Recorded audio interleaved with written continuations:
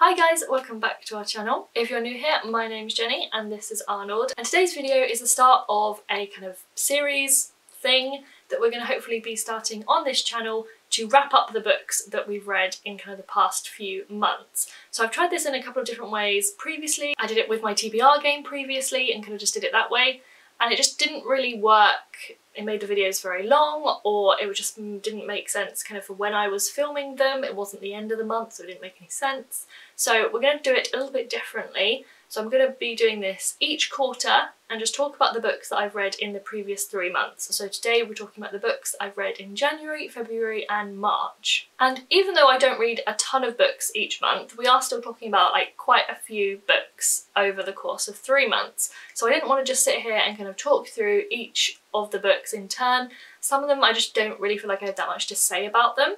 So I wanted to do something a little bit different to that. And there are a couple of other YouTubers that I follow and I watch and they do reading wrap-ups in slightly different ways. So Meg with Books, Literary Diversions are kind of the two that I have seen that do things a bit differently and in ways that I quite like. So I am going to be borrowing kind of from their ideas and then seeing what kind of things we want to talk about in these videos. So plan at the moment for this video is to talk about the stats, some fun facts and figures from the last three months of reading, then to kind of just talk through each of the books and the rating that I've given them, and then to talk about a few different kind of categories. And these categories might change each quarter depending on what things I want to talk about.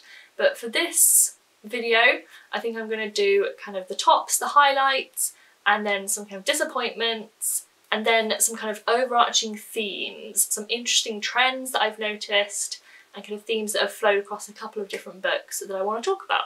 So we're going to do it that way. If there's anything that you'd like to see me do differently or different ways you want to hear about the books, let me know it down in the comments and then I'll see if I can do those for next quarters. But let's dive straight into the stats. Now, if you saw my kind of how I track my reading video from a little while ago, you'll know that I track quite a lot of things when it comes to reading and you may have guessed that I just really love stats and seeing the stats that come out of those different tracking methods and looking at the info, the facts and figures about my reading. So today is the 28th of March, so we're not quite at the end of March. There is a slim chance that I could squeeze a book or two more in before the end of the month, but I think it's unlikely based on kind of where I am in the books I'm currently reading. So for the books that I have read so far, from January to March 2024, I have read 14 books, which is definitely not high compared to some people's standards, but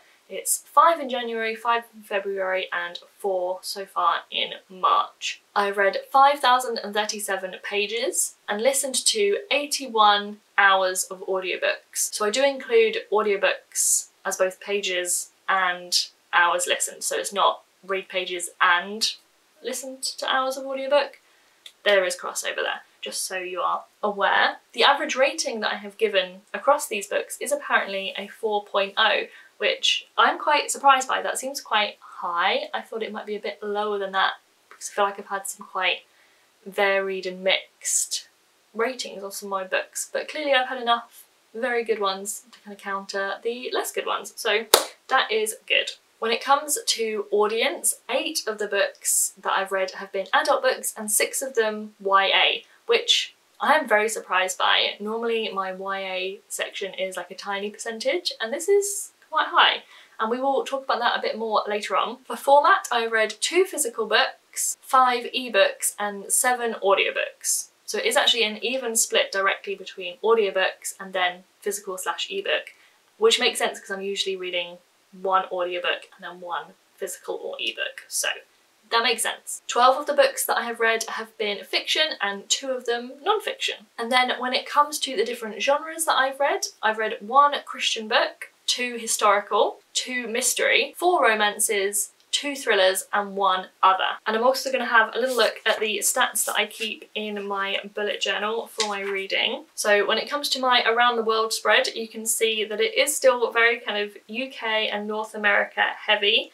We've for author, we've just had one Asian author and one African author, And then for setting, we've had one set in Asia, two in Africa, and one that didn't have a setting. So that is something I really want to improve on and kind of make this a bit more of a spread. Obviously, we've got nothing for South America or Europe across either of them or Australia. So it would be good to add slightly more diverse authors and settings onto this sheet. And then when we come on to the book stats, obviously I've already talked about format and genre, but you can also see that I have not yet read any translated books, which I really do want to do. That was one of my goals for this year, was to read six translated books. So I am behind on that goal. I need to catch up. We've also had three five star and three 4.5 star, which is good. That those are both kind of ratings that I would see as like favourite books, top books of the year. Really, really good. And then at the bottom, we've got, we haven't had any novellas, no kind of short story collections, but two non-fictions, which is pretty good for me. I can't remember what the stat was for last year for non-fiction, but I don't think it was uh, particularly high. I think my non-fiction reading was pretty low last year, so it's good to see that we have started reasonably strong with two so far already. So next let's run through all of the books that I've read so far in the first quarter of this year and what rating I gave them. So first up I read The No-Show by Beth O'Leary and gave it 3.5 stars. Sofia Khan is Not Obliged by Ayisha Malik, I gave 2.5 stars. M is for Mama by Abby Halberstadt, I gave 5 stars. Love from A to Z by S.K. Ali, I gave 3.5 stars. Wildfire by Hannah Grace, I gave 4.5 stars stars. The Treatment by C.L. Taylor, I gave 3 stars. Our Bodies, Their Battlefield by Christina Lamb, I gave 5 stars. Where the Crawdads Sing by Delia Owens, I gave 4 stars. 27 Minutes by Ashley Tate, I DNF'd. So I do include my DNFs in my kind of totals and my stats and everything else that I've said so far, I just don't rate them. A Good Girl's Guide to Murder by Holly Jackson I gave 4.5 stars. Ready Player One by Ernest Cline I gave 5 stars. And Ready Player Two by Ernest Cline I gave 3.5 stars. Two Can Keep a Secret by Karen M. McManus I gave 4.5 stars. And Homegoing by Yaa Gyasi I gave 4 stars. So now let's talk about the highlights, the top books I've read so far this year. And interestingly, two of them are actually non-fictions. Both of the non-fictions that I've read so far this year have been five stars, which is brilliant. So let's talk about those first. So the first one is M is for Mama by Abby Halberstadt. And it's a Christian book about parenting, about motherhood in particular, and about some of the messaging we hear kind of in general in society, on social media, about motherhood and a kind of Christian biblical response to some of those things that are said, comments that are made, approaches to motherhood. And it offers a lot of advice and support and thoughts on biblical motherhood, Christian motherhood, and what that should look like. And this book talks a lot about a lot of different aspects of motherhood. I found that the first half kind of talked a lot about kind of theoretical mindset, kind of thinking things, and then the second half became much more practical in some ways. This is really easy to read and kind of really easy to get through. I ended up just kind of doing one chapter at a time, um, but at the end of each chapter, it also has a section that kind of compares mediocre motherhood versus Christ-like motherhood, has some action steps, things that we can do, has some questions to ask and reflect on, and then also has a prayer to round off that section as well. So I think this is definitely a book I will be going back to at various times throughout my daughter's growing up and different stages of motherhood. The other non-fiction that I read was a very different tone, Our Bodies, Their Battlefield by Christina Lamb, and I think this was definitely both one of the best books that I've ever read and like the worst books that I've ever read in terms of kind of content and just how hard hitting it was and how difficult it was to read at times. So if you haven't heard of it, this book is exploring the impact of war on women, women and children at various times it was talking about as well, and particularly how sexual violence is used as a weapon of war. And this book did a really great job of kind of illustrating how this has happened for so many years, both recently and a long time ago, but also really centres the women who have been impacted by it and kind of what they've done afterwards, kind of the impact that they've had on their communities, on seeking justice, and just rebuilding after conflict as well. It really doesn't shy away from kind of the horrors of both the actual violence and the lasting impact of that. But it does also really highlight what these women have achieved in so many ways as well. It covers a huge range of different conflicts, um, things that have looked very different from each other in loads of different places all over the world, and also kind of touches on some other conflicts as well without kind of diving deep into them. And the version that I read also had like an updated section right at the beginning that was looking at the conflict in Ukraine currently, and that had been written by Christina Lamb in 2022. So it's incredibly up to date. It shows the kind of exactly what is happening right now in conflicts that are currently still ongoing and really just highlights the prevalence of this kind of atrocity. There are a couple of things I will say about it. I think all of the content warnings for kind of the content, what's talked about in it, obviously make sure you're kind of in an okay place kind of going into this I definitely felt kind of towards the end of the book in particular, I was really feeling the kind of just the anxiety and the stress of having spent so long reading this content and just how heavy that was. The other thing is it does mention the conflict in Israel and Palestine and kind of highlights it as not a good conflict, so I don't think it's saying any conflict is good, but as one that has very organised militaries and therefore hadn't been having kind of sexual violence used in that conflict. Now, that was written prior to uh, October 2023, but to us personally, I have heard accusations of sexual violence uh, against both sides, both prior to that and post that. But it was, yeah, slightly jarring to read that whilst we're in the middle of that conflict. So yes, go cautiously into that book if you want to read it, but I do think it's such an important topic for everyone to be aware of and to be fighting against and to help women get justice for these kind of crimes and the lasting impact that they have had across the world. The final five star that I've had so far this year was Ready Player One by Ernest Cline, and this was a reread, so I had read it before and given it five stars previously, so I think that definitely does, you know, help a book be a five star read because it's a bit more of a comfort read. I know the story already, I know it's going to be enjoyable and an easy listen, but yeah, it was still just really enjoyable the second time round. Um, I find this such an easy audiobook, an enjoyable audiobook to listen to, and you're just kind of really immersed in the world, of following all of these different quests that the characters are going on. If you haven't read these books before, this is a sci-fi series that the first book is kind of set in this future world where they have created a kind of virtual reality world that people basically spend all their time in and do everything in. And the creator of this world has passed away and kind of left this quest challenge for people to complete to kind of win his inheritance and inherit the whole kind of world and the system that has been set up and the whole company that set it up as well. It follows these, I guess, teenagers who are on a quest to complete this challenge and find the key to this inheritance. And that brings us on to the first of my disappointments, which is Ready Player 2, the sequel to Ready Player 1.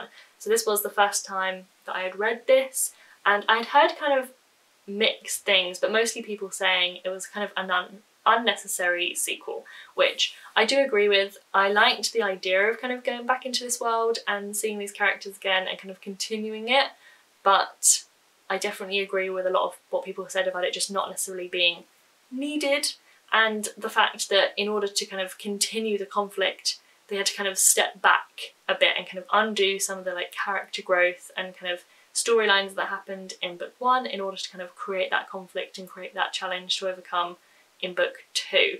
So book two, uh, without spoiling too much from book one, you kind of follow very similar characters and they have a new quest that they need to complete.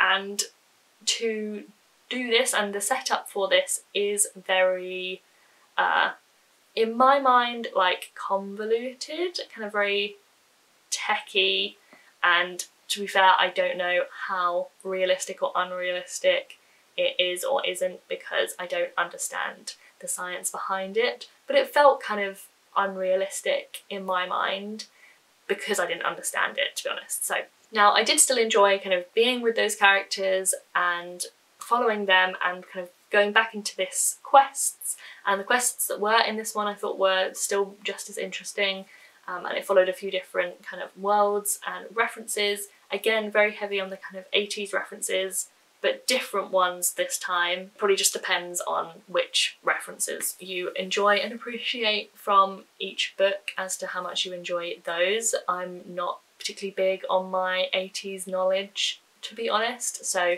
uh, a lot of them go over my head anyway. I just enjoy the kind of quest and games atmosphere that it does create. I did give that book 3.5 stars, so this is not a terrible book by any means. I just found it a bit disappointing compared to book one. And I also just found the ending very odd. I don't even fully know how to describe it. It was just a bit disappointing and uh, yeah, got a bit weird at the end. But yeah, we'll move on. Another disappointment that I read was Sofia Khan is Not Obliged and this is a romance book that I read at the very beginning of January. So to be honest, there's probably a lot of it that I, I'm just not remembering uh, because I read it a good few months ago. But this book is kind of pitched as a Muslim version of Bridget Jones's Diary. And now I've never read the book Bridget Jones's Diary, but I have watched the film and enjoyed the film. Um, but I think a lot of the reviews that I saw after having read it were kind of saying that it had taken Bridget Jones's Diary but left in a lot of the worst parts of Bridget Jones's Diary rather than taking the opportunity to uh, remove those and do something a bit differently.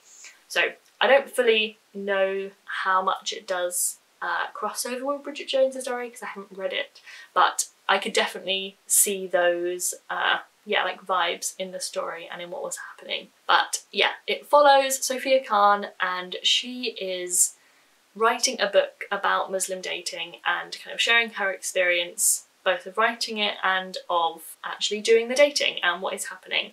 And this book was just, it felt very odd because it felt like at the beginning it was set up with these two potential love interests. I was like, oh, is it this one or this one? And then it was kind of veered off in a different direction. And there's one character that you kind of just think, has the author forgotten about this person? Don't really know what happened to them. And then they, I can't even remember if they ever come back into it, but they kind of get forgotten and we kind of move off in this other direction and there's this other guy that you're suddenly like, oh, that's the third love interest. It's a bit confusing. I would say the way that this book talks about fat people is incredibly rude and just kind of constant. I think that's what surprised me most was just how kind of constant it was throughout the whole book.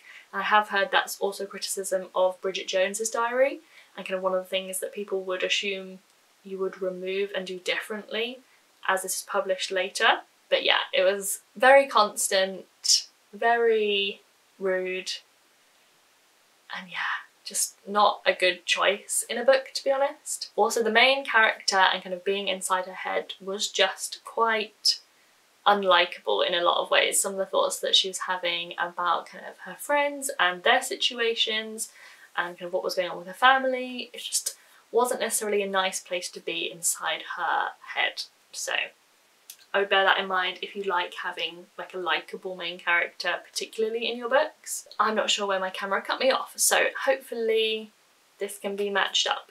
But yes, the third disappointment that I read so far this year has been The No-Show by Beth O'Leary. And I've loved all of Beth O'Leary's other books that I've read so far, so this one was definitely disappointing, but I still did give it 3.5 stars. And the main point for that is because by the end of the book, I did really understand what she was doing, what the author was trying to convey, the message that she was making, and I thought it was really cleverly done, really well done, a really beautiful story that had been pulled together. But what let this book down was the fact that the setup for the book is that you have three women who are all stood up by the same guy on the same day, on Valentine's Day. And you're following these three women and their relationship with this guy, kind of knowing that he is dating all three of them. And I think that just makes it really hard for you to root for any of those relationships or to want any of them to be with him or to like him in any way. And I think that's just not a great set up for a romance if you don't want them to be with him, like any of them. So for the first kind of over half of the book, I just wasn't really enjoying it because I didn't want any of them to be with him. I didn't like him. it just wasn't super enjoyable. And then as kind of everything gets unravelled, you understand, you kind of see the bigger picture, you see what's happening, and you understand the story that has been woven together. I can understand it all, but you've got so much kind of time spent not liking this guy that it's very hard to then flip the switch to like him or to want him to be with any of the women. So it just great book, really great like artistically done, but just not an enjoyable reading experience for most of it, which is a real shame. Then the final thing that I wanted to talk about in this video is just a couple of themes that I saw in this first quarter of the year in the books that I was reading. So the first thing that I want to talk about was YA mysteries. So I read a few different YA mysteries uh, last year, but I've also read two so far this year. I've read A Good Girl's Guide to Murder by Holly Jackson and Two Can Keep a Secret by Karen M. McManus. And I gave both of those 4.5 stars. I really, really, really enjoyed them. I found the reading experience so much fun. I think that's the joy of kind of a YA mystery and the similar for YA thrillers is that you can have kind of the mystery, the problem solving, the kind of detective element without kind of some of the high, higher stakes that you have to have in an adult mystery, or in a lot of them anyway, to kind of really build that tension. You don't have quite as much of that, which just makes it so easy to read, really enjoyable. It reminds me very much of kind of the books that I read when I was a teenager, kind of Famous Five, Secret Seven, all of those kind of things. Um, obviously more modern and some of them do have kind of more stakes than that, but it kind of keeps it a bit more easy reading versus some of the adult mystery and thrillers that I read as well. And I think there is place for both. I enjoy both, but I've definitely found recently that just some of the YA mysteries I've been reading in particular, I really enjoyed the One of Us is Lying series by Karen M. McManus last year as well. So I think this is just a an area, a genre, age group and genre that I want to kind of keep dipping my toe into. I want to read the rest of the A Good Girl's Guide to Murder series, of course, and potentially some of Karen M. McManus's other books as well, and just kind of make sure I keep coming back to this genre and reading what I'm enjoying at the moment too. The other theme that I wanted to touch on was Muslim romances. Now, as I said, I am not Muslim, I am Christian, so I can't necessarily talk about the Muslim representation in these books, but my understanding is that it is written by Own Voices authors who are Muslim themselves. I assume that they have kind of represented Islam pretty well in these books. I haven't seen any criticisms of them in, in that area in particular. Obviously, as I said, Sofia Khan is not obliged. I did not enjoy. I gave that 2.5 stars. But I did quite enjoy Love from A to Z by S.K. Ali. I think I gave that 3.5 stars. It definitely had things I didn't enjoy about it in terms of just kind of the writing and uh, I guess YA romance is not a genre that I particularly enjoy either because there were certain aspects of the romance side that I didn't enjoy. But what I wanted to talk about was just how I really enjoyed seeing romances in particular, both of these books are romances, portrayed with characters with a strong faith, a strong religious faith, obviously in this case Muslim. And I think these romances and some other Muslim romances that I've seen do a really good job about portraying that and showing kind of religious relationships in a really healthy, positive way.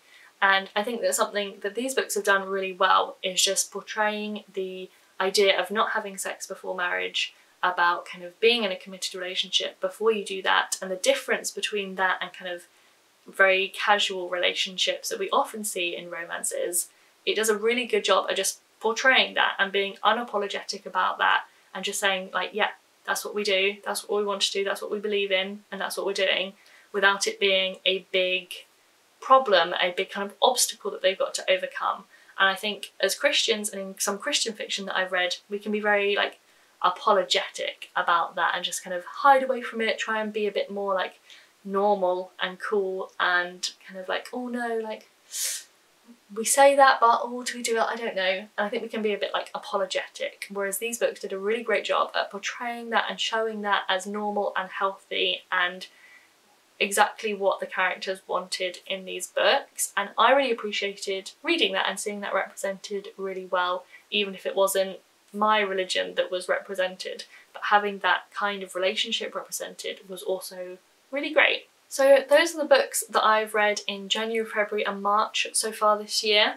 So do let me know if you've read any of these books and what your thoughts were on them or if you've got any recommendations for me based on the books I've read and the themes that I've talked about. I'd love to hear those in the comments too. And definitely let me know what kind of categories you'd like to see in future reading wrap-ups too. I'd love to hear all of your ideas. But we hope you enjoyed this video and found it interesting. If you did, please do give it a big thumbs up and subscribe to see more videos from me and Arnold. We create videos every week all about prayer, exploring the Bible, Christian life and motherhood, and obviously lots of bookish things too. If you would like to see all the books that I am planning to read that were chosen for me by my TBR game for spring, do check out this video right here. And we will see you very soon for a new video. Bye!